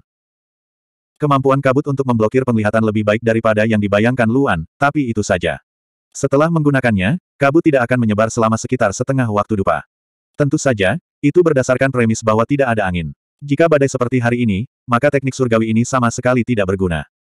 Luan berada dalam kabut. Dia mencoba bergerak dalam kabut untuk membiasakan diri dengan efek dari teknik surgawi. Tetapi pada saat ini terdengar suara berderit, dan pintu tiba-tiba terbuka. Kabut di ruangan itu sepertinya telah menemukan jalan keluar, dan orang-orang di pintu mau tidak mau bergidik. Mereka dengan cepat menyingkir dan dengan sabar menunggu kabut menghilang. Luan juga mendengar suara itu dan melihat ke pintu dengan heran. Siapa lagi sosok cantik yang berdiri di depan pintu selain Hanya? Kakak senior Han, Luan menatap kosong sejenak sebelum dia buru-buru bangkit dan pergi ke pintu. Silakan masuk. Han Ya masuk ke kamar dan merasa lebih dingin daripada di luar. Dia tidak bisa membantu tetapi sedikit mengernyit. Dia menoleh ke Luan dan bertanya, apakah ini kartu truf yang kamu siapkan untuk empat hari kemudian? Luan menatap kosong sejenak, lalu segera mengangguk dan berkata dengan serius, kakak senior, tolong jangan beritahu siapa pun. Dengan baik. Kepala Luan ditampar dengan keras. Hanya memandang Luan yang menutupi kepalanya dengan ekspresi jengkel dan berkata dengan keras, menurutmu siapa yang bisa kamu kalahkan dengan kabut bodoh ini? Apakah ini bahkan sedikit ofensif? Luan menahan sakit kepalanya dan menatap Han Ya tanpa daya. Dia berkata, meskipun kabut ini terlihat sedikit lemah, sebenarnya ada banyak ruang untuk perbaikan. Ruang untuk perbaikan. Anda mengatakan bahwa kabut ini memiliki ruang untuk perbaikan. Han Ya sangat marah hingga wajahnya memerah. Dia mengangkat tangannya dan hendak memukul kepala Luan lagi, tapi Luan segera mengelak. Setelah melarikan diri ke samping, Luan memandang Hanya dengan waspada dan bertanya dengan hati-hati, kakak senior datang untuk mencariku. Apakah ada yang kamu butuhkan? Tidak bisakah aku datang jika tidak ada apa-apa? Hanya mengangkat alisnya dan bertanya. Tentu saja tidak, Luan langsung merasa malu dan dengan cepat menggelengkan kepalanya. Hanya mengangguk puas, tetapi setelah berpikir sejenak, dia mengerutkan kening dan berkata, bahkan Blue Water Peak tahu tentang duel antara kamu dan Guo Seng, dan banyak orang membicarakannya. Kamu gila. Bagaimana Anda bisa mendapatkan ide bodoh seperti itu? Luan menatap kosong sejenak, lalu tersenyum canggung. Kau masih tersenyum. Alis Hanya menegang dan berkata, kamu seharusnya memintaku untuk membantumu menyelesaikannya. Mengapa kamu harus memaksakan diri untuk berakhir seperti ini? Anda membuat kesepakatan, bahkan jika saya ingin membantu Anda, saya tidak bisa melakukannya. Apakah kamu mengerti? Luan merasa hangat di hatinya. Dia tersenyum dan berkata, terima kasih atas perhatian Anda, kakak senior. Saya tahu apa yang saya lakukan. Saya harap Anda melakukannya. Han Ya mengerutkan kening, menghela nafas dan menggelengkan kepalanya. Empat hari kemudian, aku akan membawa tetua Wei ke sini, sehingga dia dapat segera merawatmu jika terjadi sesuatu padamu. Selain itu, dia juga seorang penatua. Jika segala sesuatunya mencapai titik tidak bisa kembali, tidak ada yang berani untuk tidak mematuhinya. Luan menatap kosong sejenak, lalu mengangguk dan berkata, oke. Okay. Saat ini, Han Ya melihat tiga buku di atas meja. Dia berjalan untuk melihat-lihat, tetapi ketika dia melihat mereka, matanya dipenuhi dengan kekecewaan yang mendalam. Dia menoleh ke Luan dan berkata, jika kamu tidak memiliki teknik surga yang bagus, kamu bisa memberitahuku. Aku punya banyak yang bagus. Mem, Luan mengangguk dan berkata, tapi sekarang agak terlambat untuk belajar. Han Ya mendengar ini. Bagaimana mungkin dia tidak tahu? Setelah memikirkannya, dia berkata kepada Luan, sebenarnya, saya datang ke sini kali ini untuk membimbing Anda dalam pertempuran. Di usia Anda, anda pasti memiliki sedikit pengalaman dalam pertempuran, tetapi Guo Seng sangat berpengalaman. Saya khawatir itu Anda akan terlalu menderita dalam hal keterampilan bertarung. Mengapa Anda tidak berlatih dengan saya selama beberapa hari ke depan? Bahkan jika itu adalah upaya menit-menit terakhir, itu akan tetap berguna. Luan tercengang saat mendengar ini. Kehangatan kembali mengalir di hatinya. Dia tersenyum lebar dan berkata dengan tulus, terima kasih atas perhatian Anda, kakak senior. Datanglah. Sebelum Luan selesai, Han Ya berkata, ayo pergi ke halaman. Aku akan melawanmu dengan kekuatan tahap awalku. Aku tidak akan menggertakmu. Dengan itu, Han Ya berbalik dan hendak pergi. Luan tertegun saat melihat ini. Dia dengan cepat berkata, kakak senior, saya ingin mempelajari lebih banyak teknik surga. Saya pikir pengalaman pertempuran saya masih baik-baik saja. Ketika dia mengucapkan beberapa kata terakhir, suara Luan menjadi semakin lembut hingga kata terakhir tidak dapat didengar. Tidak ada alasan lain selain Han Ya menatapnya dengan tatapan tajam. Luan bisa melihat kekecewaan mendalam di mata Han Ya. Kau tidak mau berlatih denganku. Suara Hanya sangat rendah. Dia memandang Luan dengan tegas dan berkata dengan dingin, atau apakah menurutmu berlatih denganku tidak berguna? Tentu saja tidak. Luan dengan cepat menggelengkan kepalanya dan berkata, hanya saja aku tidak memiliki satupun teknik surga yang aku kuasai. Aku ingin menguasainya terlebih dahulu. Ekspresi Hanya melembut saat mendengar ini. Namun, kekecewaan di matanya tidak berkurang banyak. Menurutnya, pemuda ini tidak mau berlatih dengannya karena takut gagal. Orang yang takut gagal tidak akan pernah bisa berkembang.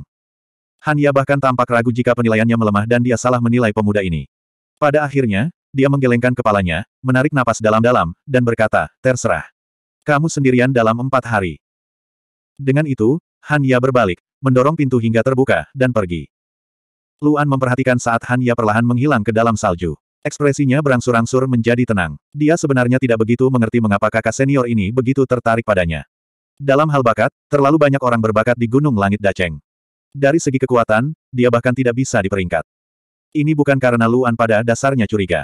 Hanya saja sikap senior Sister Han terhadap orang lain sangat berbeda dengan sikapnya terhadapnya. Apa sebenarnya yang dia lihat dalam dirinya? Setelah merenung sejenak, Luan menggelengkan kepalanya dan berhenti memikirkannya. Tidak peduli apa, kakak senior Han tidak memiliki niat buruk terhadapnya. Bahkan, dia selalu memperhatikannya. Itu adalah keberuntungannya untuk memiliki seseorang yang memperlakukannya dengan sangat baik. Tidak perlu baginya untuk mencoba mencari tahu apa yang dia pikirkan. Berbalik, Luan menutup pintu dan duduk kembali di kursinya untuk fokus berkultivasi.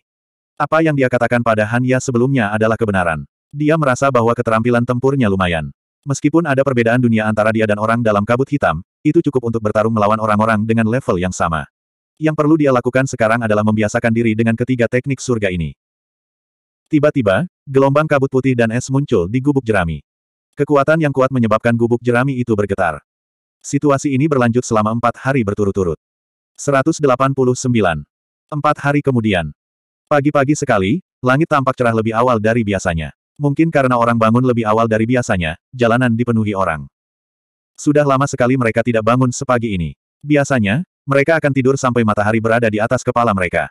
Tentu saja, mereka bangun pagi-pagi sekali hari ini tanpa alasan lain selain duel. Setelah sarapan, semua orang tidak berkultivasi. Sebaliknya, mereka berkumpul di ruangan besar untuk membahas kompetisi hari ini. Tentu saja, meski mereka bilang begitu, hanya sedikit orang yang benar-benar membicarakannya. Kebanyakan dari mereka datang untuk memasang taruhan. Duel tidak dimulai pada pagi hari, tetapi pada siang hari. Pada pukul 9 lewat seperempat, beberapa orang asing tiba-tiba muncul di puncak gunung. Mereka adalah murid dari tetua lainnya. Setelah mendengar berita duel, mereka datang untuk ikut bersenang-senang. Setelah kelompok orang pertama tiba, semakin banyak orang mulai berdatangan. Pada pukul 9 lewat seperempat, ada lebih dari 30 orang. Puncak Gunung Chen Wuyong jarang semeriah ini. Orang-orang di sini terbiasa tidak ramah. Ini adalah pertama kalinya begitu banyak orang datang, jadi mereka sangat antusias. Semua orang mulai berdiskusi dengan senang hati. Bahkan orang-orang di luar mulai memasang taruhan mereka. Beberapa murid Blue Water Peak juga datang. Ketika mereka tiba, mereka secara alami menarik perhatian murid lain. Apalagi, ketika murid lain melihat murid Blue Water Peak, mereka harus memberi hormat.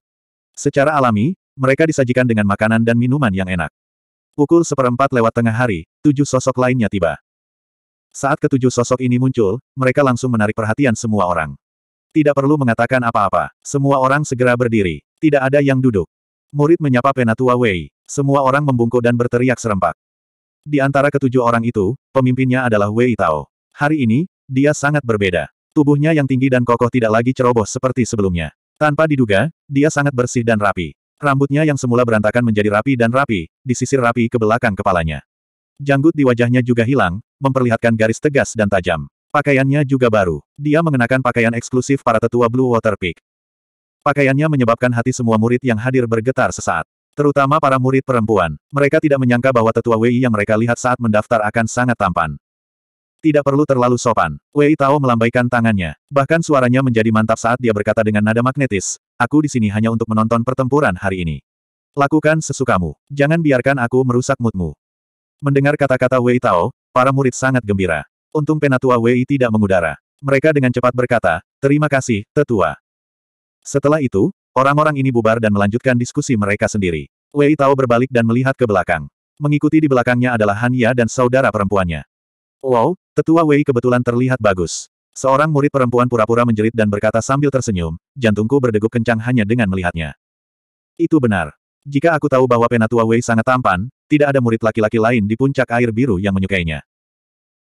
Ketika Wei Tao mendengar para murid perempuan ini mengolok-oloknya, dia hanya bisa tersenyum tak berdaya dan menggelengkan kepalanya. Dia berkata, beberapa dari Anda, tidak peduli apa, saya masih seorang penatua. Jika Anda terus bersikap tidak sopan, berhati-hatilah karena saya akan menghukum Anda.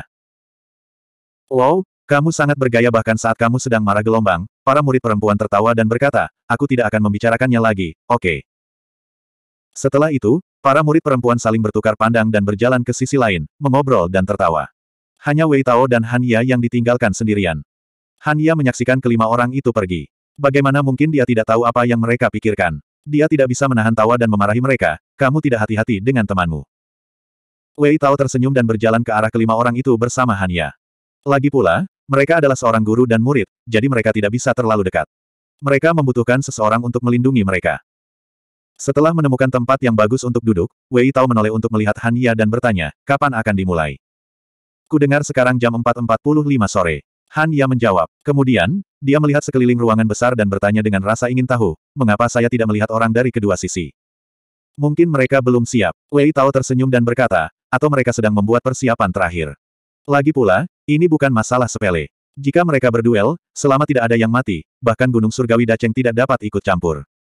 Han Ya mengerutkan kening dan mengangguk. Memang, cedera tidak bisa dihindari dalam pertempuran. Jika Wei Tao masuk ketika seseorang terluka, itu tidak adil dan dia akan dikritik. Selama tidak ada yang mati, Wei Tao tidak berhak menghentikannya. Setelah 15 menit, pintu kamar tiba-tiba terbuka, dan embusan udara dingin menyapu ruangan. Semua orang buru-buru menoleh dan melihat bahwa orang-orang yang datang tidak lain adalah Guo Seng dan kelompoknya. Saat mereka melihat Guo Seng dan kelompoknya, mata semua orang menyipit. Karakter utama hari ini ada di sini. Mata Guo Seng suram saat dia melangkah ke ruangan bersama bawahannya. Sejujurnya, dia tidak menyangka masalah hari ini akan menarik begitu banyak perhatian orang. Namun, karena ada orang di sini, dia tidak bisa mempermalukan dirinya sendiri.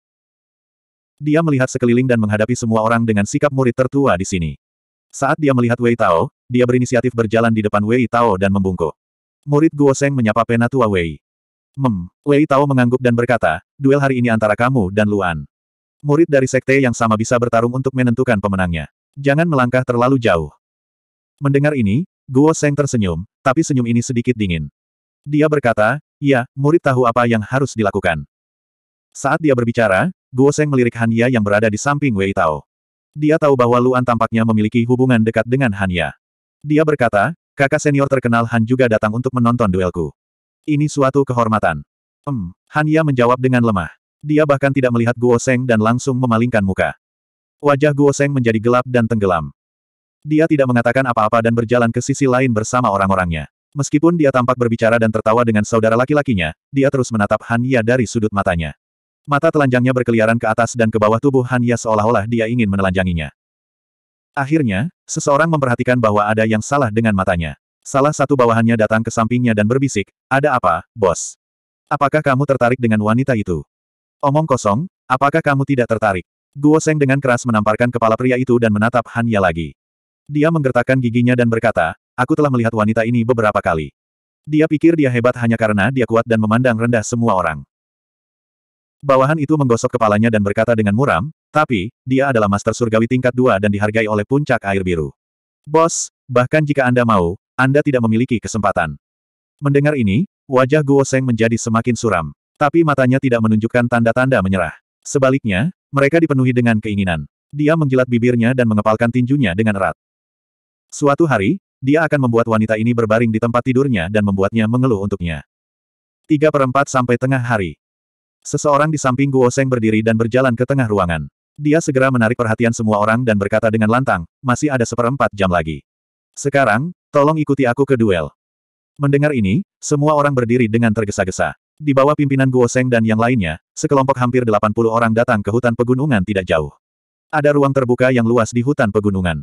Tanah seharusnya tertutup salju, tetapi saat ini sangat bersih, seolah-olah sudah dibersihkan sebelumnya. Semuanya, tolong tunggu sebentar. Duel resmi akan dimulai pada pukul 4 hingga tengah hari. Mendengar ini, semua orang menyebar di lapangan dan mengepung area yang luas. Lapangannya cukup besar untuk orang-orang berdiri bersama dalam kelompok dan berbicara satu sama lain, dengan sabar menunggu duel dimulai. Wei Tao, Han Ya, dan yang lainnya juga berdiri di samping. Melihat Wei Tao melihat sekeliling, dia hanya bisa cemberut dan bertanya, di mana Luan? Han Ya juga mencari Luan. Setelah melihat sekeliling, dia menggelengkan kepalanya dan berkata dengan cemberut, aku juga tidak melihatnya. Kenapa dia belum datang? Pada saat ini, Han Ya tiba-tiba melihat sosok berjalan dengan susah payah. Orang ini bukan Luan, tapi Chen Wen, yang datang ke Wei Tao untuk mengobati lukanya hari itu. Hai, Hanya melambaikan tangannya dan berteriak keras. Chen Wen tercengang dan merasa ada yang meneriakinya.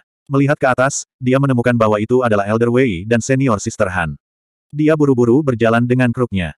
Salam, tetua. Salam, kakak senior. Chen Wen buru-buru membungkuk dan memberi hormat kepada mereka. Baiklah, jangan sapa kami. Hanya melambaikan tangannya dan bertanya langsung, di mana Luan? Ke mana dia pergi? Mendengar ini, Chen Wen tercengang dan bertanya tanpa sadar, dia belum datang. Saya bertanya padamu. Hanya mengerutkan kening dan berkata dengan ketidakpuasan. Aku, aku juga tidak tahu. Wajah Chen Wen tiba-tiba menjadi sedikit bingung. Dia melihat sekeliling dan berkata, kemarin lusa, saya mengatakan kepadanya bahwa saya bisa pergi dan mengambilnya sendiri. Setelah itu, saya tidak melihatnya sejak itu. Saya tidak bersamanya. Petik dua petik dua. Wajah Hanya benar-benar gelap. Melihat orang-orang di sekitarnya yang semakin curiga, dia perlahan menjadi gelisah. Mungkinkah dia melarikan diri pada menit terakhir? Dia bukan satu-satunya yang berpikir begitu. Semua orang yang hadir juga berpikir demikian. Waktu semakin dekat, tetapi mereka tidak melihat sosok Luan sama sekali. Guo Seng berjalan dari samping ke tengah lapangan dan berkata sambil mencibir, semua orang melihat bahwa saya datang untuk menepati janji. Anak itu pengecut, jadi meskipun dia tidak datang, itu tetap kerugiannya. Karena dia kalah, taruhannya harus berlaku. Dia berkata pada dirinya sendiri hari itu bahwa aku bisa membunuhnya atau memotongnya, tetapi sebagai sesama murid, aku tentu saja tidak akan mempersulitnya. Selama dua. Dia di sini. Tiba-tiba, seseorang berteriak. Segera, tubuh semua orang gemetar dan melihat ke kejauhan serempak. Tubuh Guo Seng juga bergetar dan dia berbalik tiba-tiba. Semua orang dapat dengan jelas melihat seorang pemuda berjubah biru berjalan selangkah demi selangkah melewati salju tebal. 190. Semua orang dapat dengan jelas melihat seorang pemuda berjalan keluar dari salju. Dia tidak berasal dari daerah perumahan, tetapi dari pegunungan yang dalam. Tidak ada yang mengharapkan dia muncul dari arah ini. Mereka tidak tahu apa yang akan dia lakukan di pegunungan. Ketika Hanya melihat sosok Luan, dia menghela nafas lega. Kekhawatiran di hatinya benar-benar hilang. Apa pun hasilnya, selama Luan berani datang, dia bisa menerimanya. Jika dia tidak berani datang, maka dia tidak akan pernah bisa menjadi pembangkit tenaga listrik. Angin di pegunungan sepertinya lebih kuat, meniup jubah Luan tinggi-tinggi. Semua orang diam saat mereka melihatnya berjalan selangkah demi selangkah dari jauh. Tidak ada yang menoleh. Langkah kakinya sangat mantap dan kecepatannya sangat seragam. Wei Tao melihat pemandangan ini dan sedikit mengangguk. Di bawah tatapan semua orang, Luan akhirnya tiba di depan semua orang. Ketika dia berdiri di tepi ruang terbuka, dia berhenti dan melihat sekeliling. Ekspresinya sangat tenang. Melihat sekeliling, dia memperhatikan semua orang di ruangan itu. Dia telah melihat mereka sebelumnya, dan dia belum pernah melihat mereka sebelumnya, termasuk Han Ya dan Wei Tao. Dia berjalan di depan Wei Tao dan membungkuk. Wei Tao juga mengangguk. Hati-hati, Han Ya mengerutkan kening dan berkata. Luan memandang Han Ya, tersenyum, dan berkata, ya, kakak senior. Wei Tao juga menatap pemuda di depannya. Setelah berpikir sejenak, dia berkata, saya akan melakukan yang terbaik. Luan memandang Wei Tao, berhenti tersenyum, dan berkata, pasti. Kemudian, Luan menatap Chen Wen. Pada saat ini, mata Chen Wen dipenuhi dengan kekhawatiran dan menyalahkan diri sendiri. Dia memandang Luan dengan perasaan campur aduk dan berkata dengan suara gemetar, Luan, jika kamu benar-benar tidak bisa melakukannya, jangan memaksakan diri. Aku akan melakukannya. Masalah ini tidak ada hubungannya denganmu. Luan tersenyum ketika mendengar ini dan berkata, jangan khawatir, aku tidak selemah itu. Setelah mengatakan itu, dia menoleh untuk melihat Guo Seng, yang berada di tengah ruang terbuka. Ekspresinya menjadi tenang dan bahkan dingin lagi saat dia berjalan menuju pusat selangkah demi selangkah. Ketika Luan hanya berjarak tiga kaki dari Guo Seng, dia berhenti. Guo Seng memandang Luan dengan senyum sinis dan berkata dengan sarkastik, aku tidak menyangka anak nakal sepertimu benar-benar berani datang. Memang, aku tidak berani, kata Luan dengan lemah. Suaranya tampak dingin ditiup angin. Aku takut mengotori tanganku. Anda, ekspresi Guo Seng berubah, dan dia langsung menjadi geram. Dia menunjuk Luan, mengertakkan gigi, dan berkata, ini terakhir kali kamu bisa berdebat. Tunggu sebentar, aku akan membuatmu kehilangan gigi. Apakah begitu? Luan berkata dengan dingin. Aku akan mengingatnya. Guo Seng tertegun. Untuk sesaat, dia tidak mengerti apa maksud Luan. Pada saat ini, seseorang berjalan keluar dari samping. Ini sudah jam seperempat. Waktunya telah tiba. Murid itu berteriak keras, duel hari ini diprakarsai oleh Guo Seng dan Luan atas kehendak bebas mereka sendiri.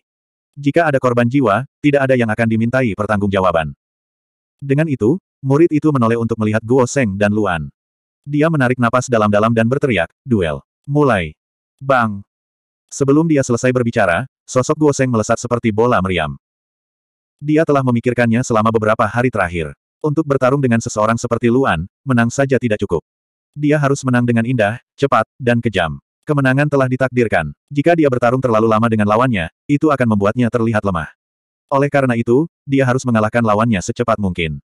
Begitu dia muncul, dia keluar semua. Heaven Origin Energy langsung mengisi seluruh tubuhnya. Seolah-olah seluruh tubuhnya tertutup lapisan uap air. Kekuatannya meningkat berkali-kali lipat. Orang-orang di sekitarnya melihat ini dan mengerutkan kening. Meskipun karakter Guo Seng tidak bagus, kekuatannya tidak diragukan lagi. Saat dia bergerak, dia sudah berada di puncak kelas 1. Selain itu, dia berada di level Master Surgawi kelas 2. Dengan kekuatan seperti ini, selain guru surgawi kelas 2 dari puncak air biru, tidak ada yang percaya diri untuk menjatuhkannya. Apalagi pemuda ini.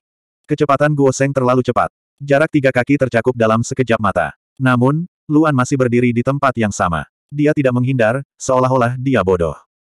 Pada saat ini, Guo Seng sudah meninju, langsung menuju ke wajah Luan. Jika pukulan ini mendarat, pertempuran akan berakhir. Guo Seng semakin dekat, tapi Luan masih tidak bergerak. Hati semua orang ada di mulut mereka. Mungkinkah pemuda ini bahkan tidak bisa menghindari satu serangan pun dan akan dikalahkan? Atau apakah dia datang ke sini dengan gagasan gagal? Suara mendesing. Pukulan itu tiba, tidak menyisakan waktu bagi siapa pun untuk berpikir. Tepat ketika semua orang mengira hasilnya pasti, Luan bergerak. Memiringkan kepalanya empat inci, dia menghindari pukulan dan angin yang dihasilkan olehnya. Pada saat yang sama, tangan kanannya yang terangkat melintas, dan belati di tangannya langsung menuju tulang rusuk Guo Seng. Gerakannya sangat cepat, sangat cepat sehingga tidak ada yang bisa melihatnya dengan jelas. Bahkan Guo Seng tidak bisa melihatnya dengan jelas. Jarak antara keduanya terlalu dekat. Namun, dia merasakan hawa dingin yang menusuk tulang datang dari bawah tubuhnya. Itu adalah rasa bahaya yang mengancam jiwa. Dia tidak ragu untuk berbalik dan lari ke samping. Membelanjakan. Suara mendesing. Kecepatan Guo Seng terlalu cepat. Karena itu, dia baru berhenti setelah berlari jarak jauh. Dia masih syok. Dia mengambil napas dalam-dalam dan menundukkan kepalanya. Namun, matanya dipenuhi dengan keheranan yang lebih besar lagi. Ada luka empat inci di pakaiannya di sisi tulang rusuknya. Jika dia bereaksi sedikit lebih lambat, perutnya mungkin akan terkoyak dan dia akan mati di tempat. Memikirkan hal ini, hawa dingin menyapu tubuhnya, membuatnya menggigil. Dia tiba-tiba mengangkat kepalanya dan menatap Luan di kejauhan. Dia menatapnya dengan ekspresi serius dan bermartabat yang belum pernah dia lihat sebelumnya. Sebagian besar orang yang hadir tidak melihat apa yang terjadi pada saat itu. Namun, mereka dengan jelas melihat pakaian yang robek. Perubahan tak terduga ini menggelitik minat semua orang. Mereka melebarkan mata untuk menyaksikan adegan selanjutnya. Termasuk Wei Tao. Orang lain tidak bisa melihatnya dengan jelas, tetapi dia bisa melihatnya dengan jelas. Reaksi seketika anak ini sangat mengerikan. Selain itu, dia sangat ambisius. Dia sebenarnya berani mengelak dan menyerang di saat-saat terakhir. Tampaknya dia memiliki kendali mutlak atas kekuatannya sendiri. Namun, sayang sekali langkah bagus ini gagal. Tidak hanya tidak menyakiti Guo Seng, tapi juga membuatnya waspada. Pertempuran berikutnya akan sulit untuk dilawan. Seperti yang diharapkan, ekspresi Guo Seng menjadi sangat bermartabat. Dia menyentuh pakaian di tulang rusuknya, menarik napas dalam-dalam, dan menyentuh cincin luar angkasanya. Tiba-tiba, pedang muncul di tangan Guo Seng. Melihat ini, Luan mengerutkan kening. Namun, ketika dia dengan cepat mengukur pedangnya, alisnya perlahan mengendur. Meskipun dia bukan pembuat senjata sekarang, dia telah membaca begitu banyak buku sehingga dia memiliki kemampuan untuk membedakan senjata kelas 1 dari senjata kelas 1. Pedang ini terbuat dari satu bahan dan tidak memiliki inti kristal bertatahkan. Itu jelas pedang biasa. Nak, kamu mencari kematian.